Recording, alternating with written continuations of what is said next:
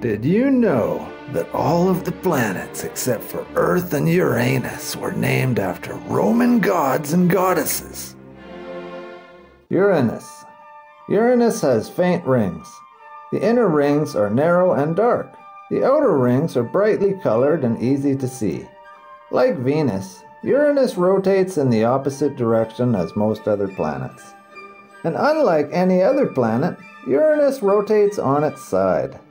One day on Uranus lasts a little over 17 hours, and a year is 84 Earth years. It has hmm. 27 known moons. In Greek mythology, Uranus is the personification of heaven and the first king of gods. His Roman name is Caelus. The astronomers at the time started with the name Caelus. It went over to Greek for Uranos and then Latinized Uranos to make Uranus. All that effort to make an appropriate name, and it ends up being the most inappropriate name possible. Thanks. Bye-bye. Look for different videos. Link below.